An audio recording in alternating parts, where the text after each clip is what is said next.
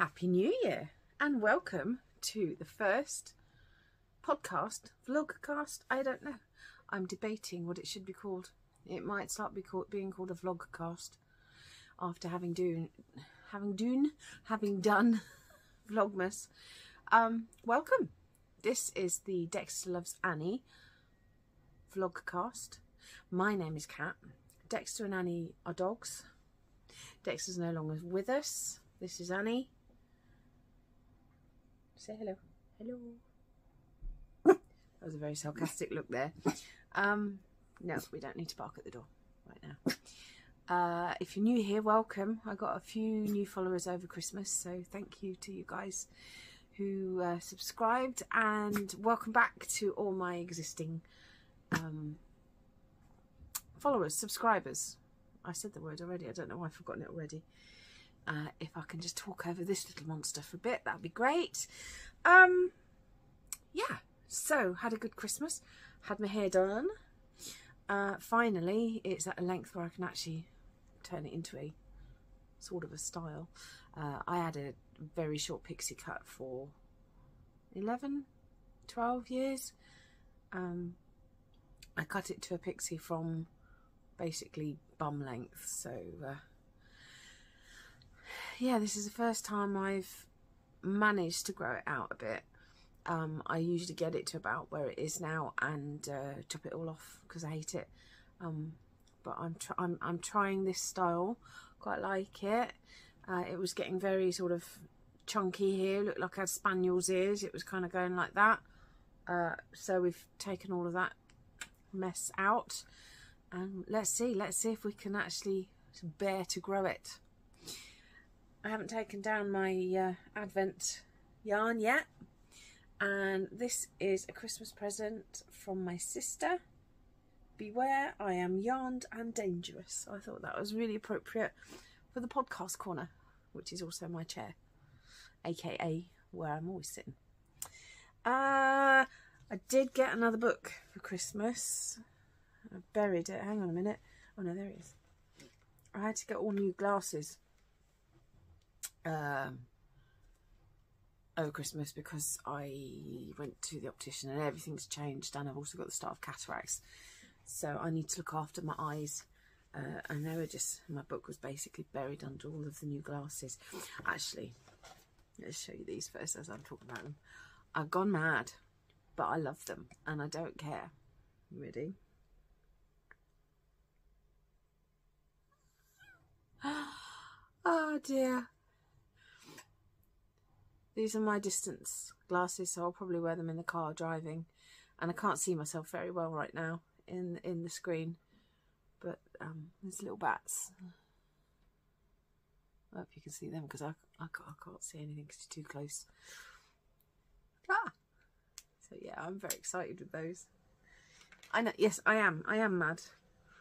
Are any creative people fully sane? I don't know. So, let me show you my present. Charming Colourwork Socks by um, Charlotte Stone of Stone Knits. She's British. so I don't know why they've spelt colour wrong. Um, that's how the US spell colour. Don't know. Maybe it's a, a US um, publisher. I don't know. But I found that very odd. If that was me, I'd insist on spelling it correctly. But then I'm a cheeky little tinker. Uh, so this has basically got a ton, a ton of colourwork, beautiful colourwork socks. I'd already paid for this one. As you know, if you've been around, um, I don't care. It's cool. I love it. So yeah, I'm looking forward to getting stuck into that. Uh, so let's get into the work, shall we? The knitting. That's what we're here for. That's what the vlog cast uh, is uh, is for. Uh, I did get some things finished over Christmas, but they were presents and they were gifted. Um, but, hello? Sorry. Alexa would like a word. Um, I did a lot of these. Spinnaker, oh I didn't show the top bit did I? That's got the actual pertinent information. Spinnaker Beanie and it is written for four different thicknesses of wool. Uh, so from Aran Weight or worsted, Aran worsted, I think it's pretty much the same thickness, wraps per inch, whatever. And then it go, oh yeah, here we are. I was looking for the page while I was waffling. Super bulky, bulky, light bulky and worsted. Uh, so weights of yarns, if anybody uses them, six, five, five, four. Um, I did three. Yes, I did three uh, in worsted weight in Aran. Uh, one went to my uncle. One went to my brother-in-law, who has requested a second one because he liked it so much. I do love knitworthy people. My uncle hasn't even uh, acknowledged the fact that uh, he's received it. Whatever. And my husband, who absolutely loves it, and he's going out in it in this weather, and it's pretty warm already. Um, I think we're only getting down to about eight degrees centigrade, um, so it is not very cold at all. And he's coming back complaining that he's he's boiling, idiot. but he loves it so much, and he's wearing it, so that's great. I was hoping I was getting very smug and hoping to show you this as a completed item. And then I lost at Yarn Chicken and had to frog it back. Uh, this is called the Italian Scarf. I'll find it. Um, I don't know why I'm doing that.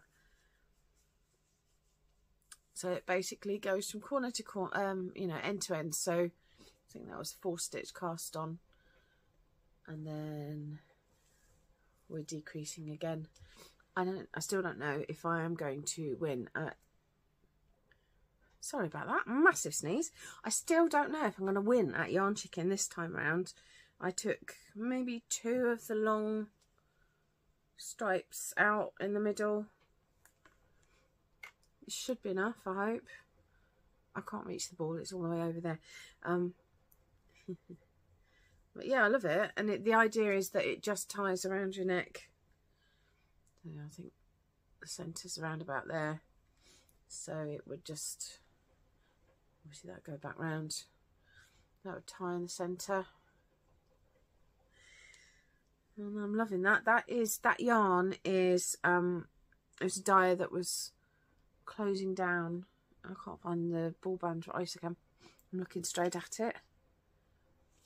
One second. More sneezing. Sorry about that. So this was Jelly Beans Yarns.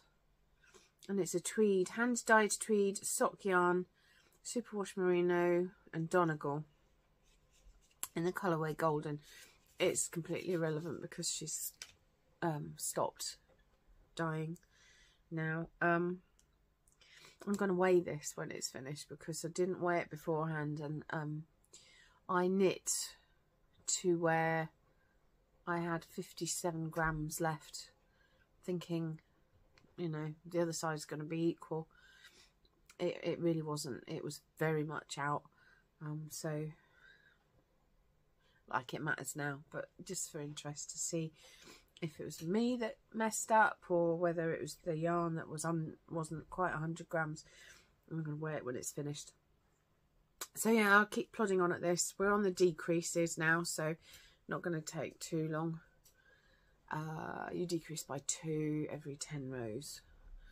Obviously those those 10 rows go faster the the smaller it is.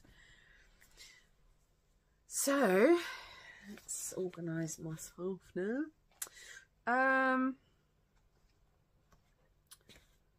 blankets let's go into blankets because they're right here and and and I won't be sitting here going um for ages. I don't know. I don't know if I've shown you this since I added the extra row on. This is my Battenberg blanket. Uh, oh yeah, because I added, this is a colour that I got with the um, Advent that I added in. I'm not going to add any more of those in because I want to make a thing don't know what yet. but I want to make a thing. So, yeah, I added another round to the blanket. And it's it's sort of lap size now. It's good. Covers Annie up, which I will be doing now because she's she's calmer when I cover her. and the other blanket I was doing, this is called the Coziest Memories um, by Kemper Wray. And the blanket itself is finished, but I want to edge it. So the mitered squares and it basically the length of it is floor to armpit and this goes all the way all the way around me plus a bit uh, it's been done in West Yorkshire Spinners DK uh, the pattern calls for four ply but it really doesn't matter.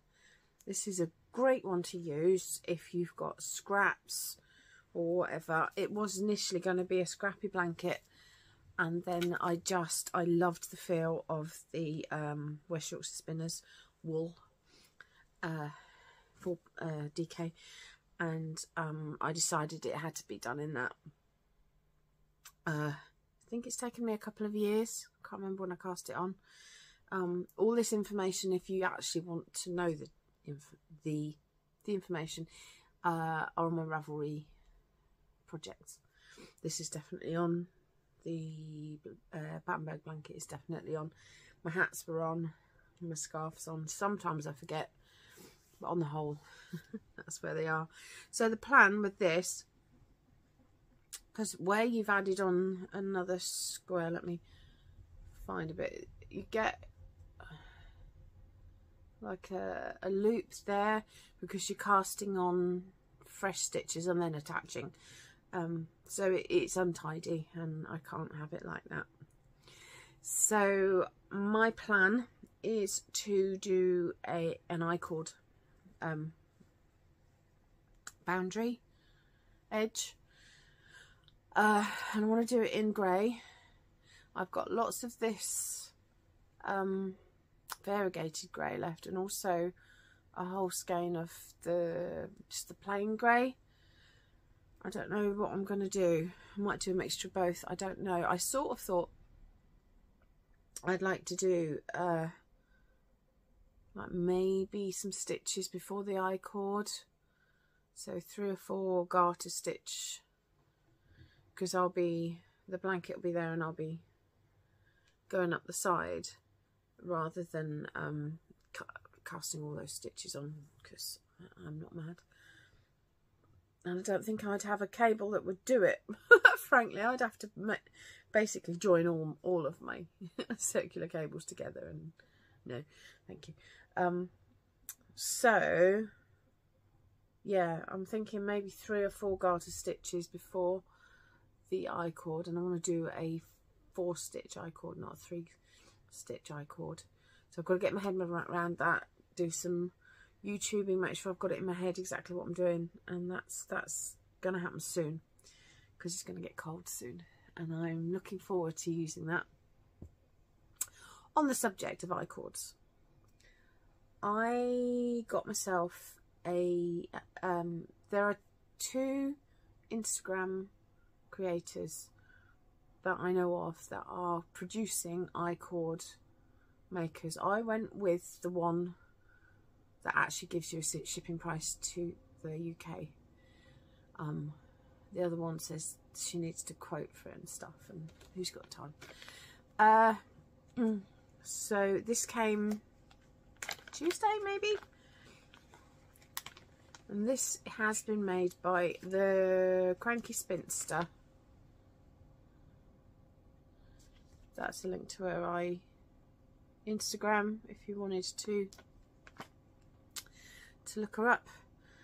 So this is basically, she, she turns the wood herself and it is really beautiful.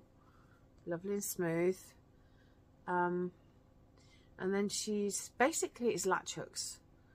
Uh, and she's basically glued three in.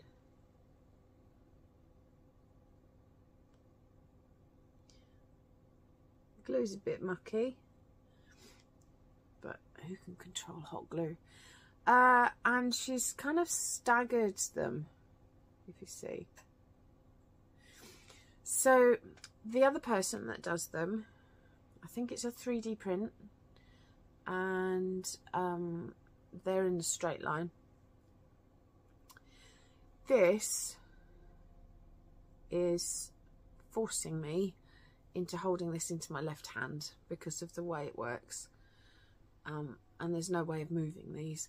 Now I'm kind of omnidextrous. There are certain things that I do with my right hand and there are certain things that I just can't do with my right hand and I need to do with my left hand. I don't know why.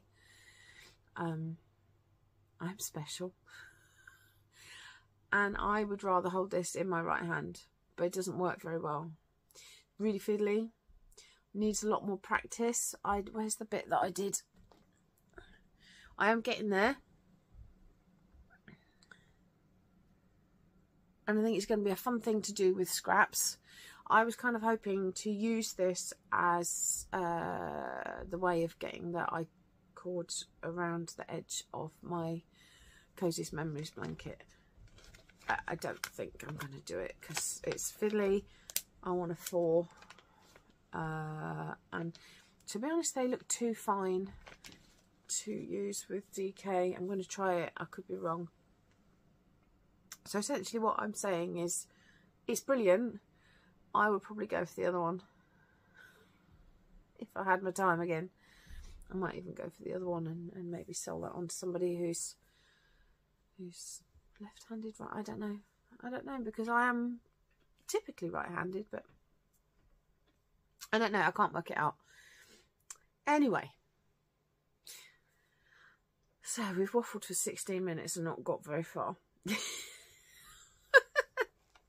let's get back to the projects. So I'm just getting my bean and olive out. This is how far this has got. Oh, there's a bit of fluff in there. Where did that come from, Annie? I have a little bin next to my chair now. I've got it on Temu. But it's very handy when you find bits of fluff and you don't want to just drop them because they'll go back onto something else. Right, there we are. I think I need to do about another four inches on here. And I've been putting some progress markers on because it does not knit up very quickly. And the yarn, I think it's slightly thicker than DK. Where are my progress markers? Oh, there they are. Tucked in the roll, the, the, the fabric's rolling up. Um, so that's pretty much what I'm getting done in one day if I really work hard at it and not have too many interruptions. That was another day. So yeah, it's a it's a reasonably long term project, and I think it's been going a year already. This is hand spun Shetland wool. Uh, got it from Wool Warehouse, and um, the blue Colorway is called Kingfisher. I can't remember what the the golden one is, um, but it was all hand spun. And uh, yeah, it's it's hard on my hands because I mean I got the gauge right, but I think the yarn is potentially just just a smidge thicker than what a DK typically would be, and it's uh I did a woolen prep, so it should be kind of bouncier, but it, it's not. I rollagged it, uh, which for people who don't spin, basically there's two different types of prep for yarn. One where the fibres all lay flat together, and that is called a worsted prep. And that makes for a nice solid yarn for like good stitch definition and um, more strength for socks. If you jumble up the um, the fibres, then that is a woolen prep and it's just basically more fluffy because there's more air in between the fibres and the fibres are, are mashed. I'm just going to get this back in my project bag because it's a real fight. Okay. Next, these are very exciting. I'm doing them two at, a two at a time and if you've done two at a time you know that when you put them back in the project bag it gets really really jumbled. These are my Christmassy socks.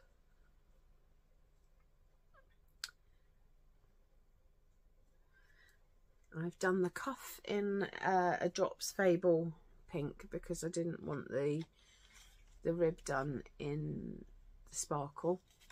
And this yarn I bought, and if you saw my Vlogmas, you'll see, bought it after I decided I wasn't buying any more yarn.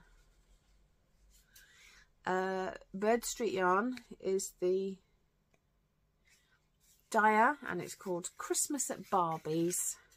It's a four ply sparkle.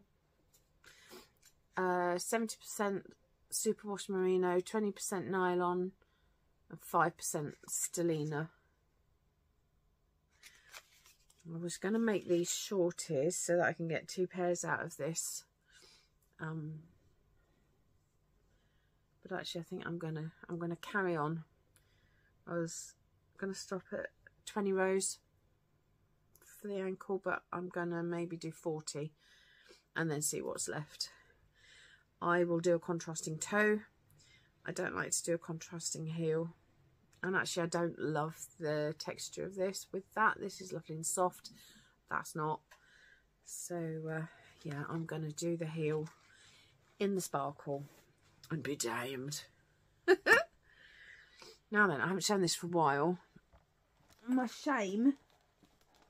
Sorry if you get too sick. The basket holding this is holding, also holding the um, the camera down.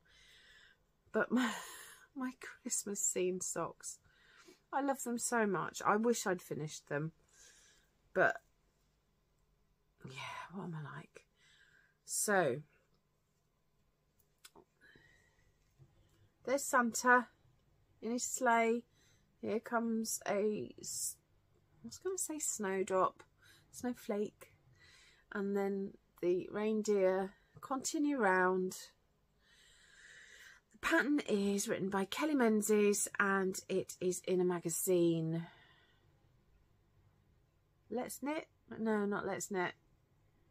Knit Now, maybe. I can't remember. I'll, I'll put it up. You know what I'm like. I'll put, I'll like if it's not on the screen around here somewhere. I usually put it here. Um, I will put it down below. I'm going to get that finished. I don't think they fit. Even though that looks pretty massive, there's no give because it's colour work and I'm not that versed in colour work socks yet. Um, and yeah, there's not as much give to get them on. So it might just become a stocking. And I've done terrible things at the edges where I've... Oh, I hope that all blocks out. I'm not showing you. You're not seeing it. I'm not showing you my... Oh, go on then. No, oh, you won't be able to discern it from the... See what I've done? Done a wrap on the edge.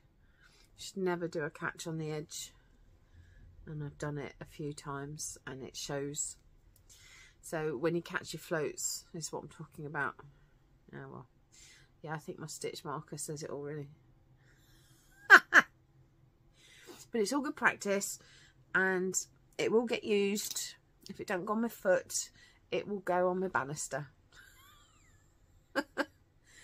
so that's that uh yeah, I want to talk about upcoming things. I have got, I've decided on a few projects for next year. I've decided that uh, I want to get back into teaching. My mum was a teacher. Um, she passed five years ago. She absolutely loved teaching. And when she passed, I sort of made a, a resolution that I would want to pass on my skills. Like, she, I mean, she, she taught primary school, but, um, and that's when we set up, my friend and I, we set up a knit and natter group, which we called Stitch, Bitch and Bark because it's at the pet shop. It was at the pet shop after hours. Um, and I taught a lot of people to crochet and, um, somebody came for knitting lessons and then COVID hit and we didn't continue with it because life got in the way the shop got busier the corner where we were knitting actually just got used for more stock so now that I have this forum that's where this is where I'm going to do it.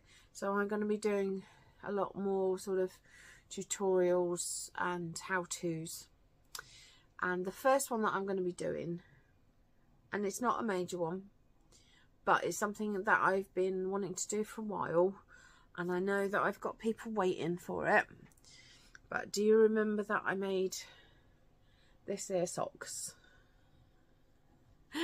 Um I had to I, I kept lengthening them because they just wouldn't stay up and my theory was that if I got them to sort of the thigh area they would stay up well they don't so I researched and I saw somebody basically uh, crocheting some shirring elastic into the inside of the rib. I have done one sock. I'm happy to report that it does help. So I'm going to do a tutorial for that to show you how I did that. And I'm going to do that soon because I want to start wearing these again um, because it's getting cold and I like them. I do really, really love these socks. Um, and then I've also invested in some knit in elastic that uh, I'm going to trial as well. So it, that will be a two video series unless I can find any other methods of keeping your socks up. So that's coming. Um, I have a load of fibre that I want to um, card up into bats. I bought some specific colourways that I can do. So that's going to be another one. Um, I've got a drum carder and I've got a standy uppy carder thing brain going.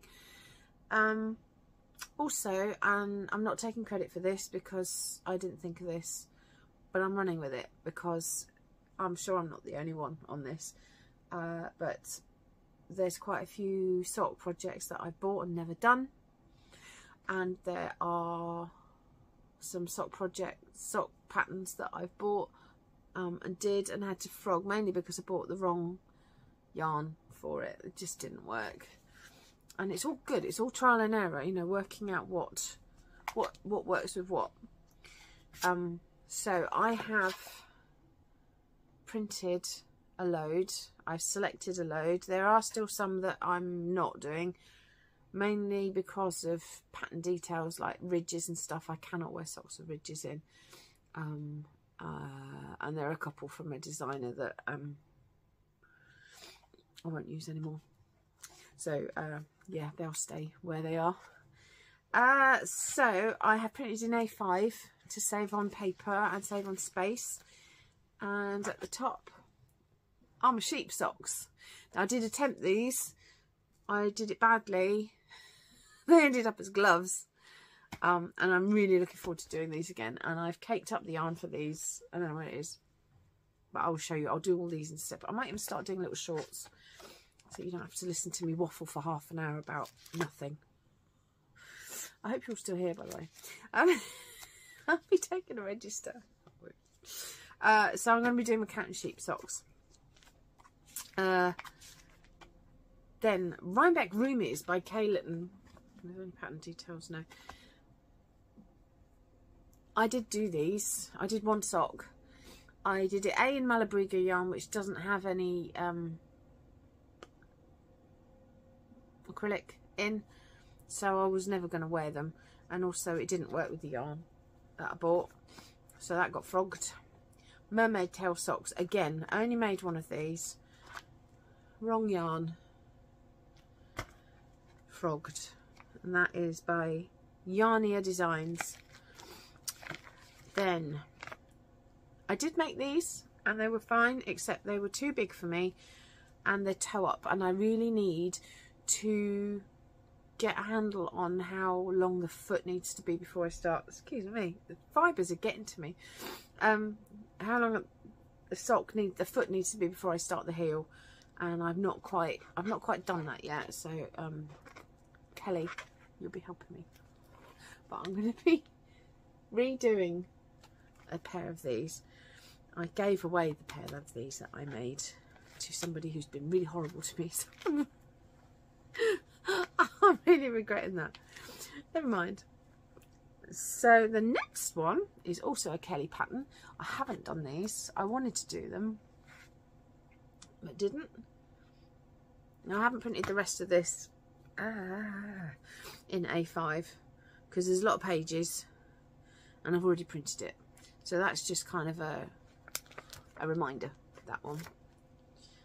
This next one's coming out because it's got a ridge. It? It's got a ridge. I won't wear that. Uh, so that's coming out. I didn't realise it had the ridge until... Oh. That's a knit it flat and sew it up. That's why it's got a ridge. Mm, no, thank you. Maybe there's a better way of sewing that. I don't know. Anyway, Yarnia Designs again, a Kern socks. Never made those. Going to be doing those. Then, the pattern that I won from uh, Yarning for a Smile, and this was the pattern I decided on.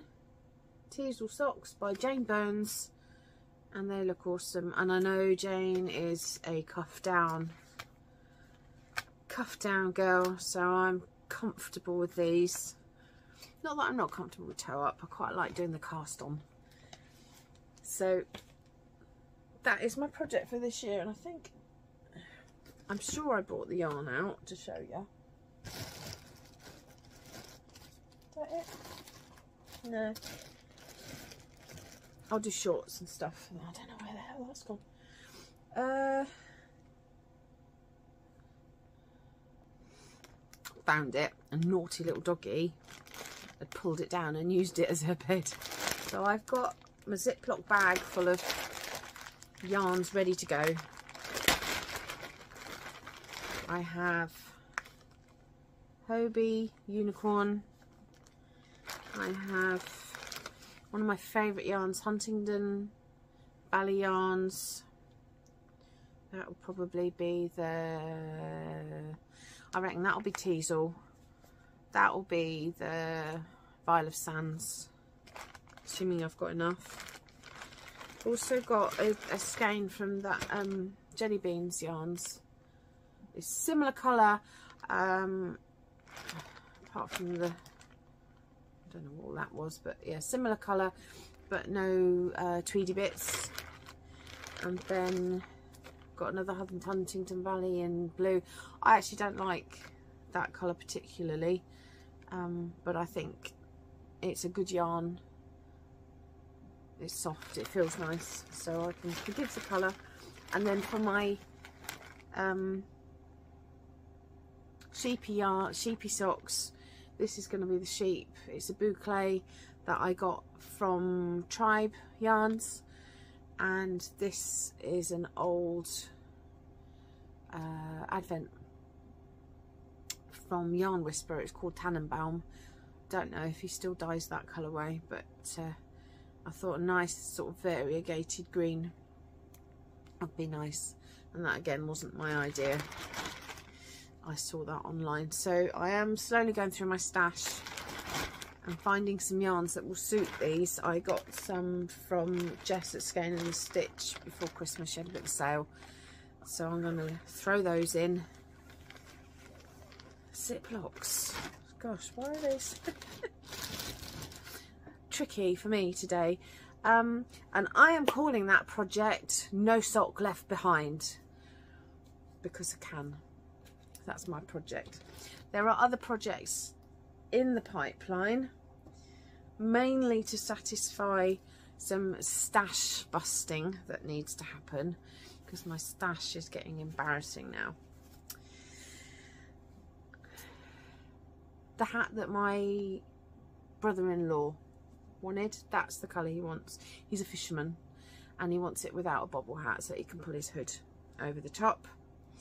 Um, when I do my next pair of DK knit socks, which is what those purple ones are that I'm trying to experiment on how to keep them up, I bought three different colourways from Hobbii. This is a uh, discontinued line, but you've got to hope that discontinuing means they think they've got a better blend of fibres and there's another one coming out. So this is a rainbow four ply, not four ply, DK sock. And I've got three of those so I can do some nice long socks with them. And I also, every year I miss out on the good uh, Halloween colourways and I managed to get this one. Absolutely love pink, uh, purple and green together. Absolutely love it. And um, I think that's just going to be a, a, vanilla sock when, when I finish my sparkly ones. But they are in the pipeline. They are my next cast-ons. Uh, so I think the order of work is going to be to finish that uh, golden scarf and then start on the border for the blanket and my Christmas socks, get the Christmas socks finished. So that's that's where I'm at for projects. Uh, pause for coffee break. um, I've also, I do have some more yarn coming from Tribe Yarns because I bought some yarn from Fiber Fox. Brain, come on. Um, then I want to make another ranunculus top with. So what I'm wearing now is the Love Note with no lace in it whatsoever and a, an I-cord cast off. Um, and between this one and ranunculus, I've got the perfect tops sorted out. Um, so yeah, I got some, I got two skeins, which is absolutely perfectly enough. Uh, and I want to make a slightly thicker ranunculus because I've done two pretty thin ones that are good for sort of spring and autumn. So I'm waiting for that. I think she's still on holiday in India, so nothing's getting dispatched right now. My printer was running out of ink, so you're going to have to excuse the very bad printing here. But there are two more things that I want to do. Actually, I think I might put just put this up on the screen because this did not print very well.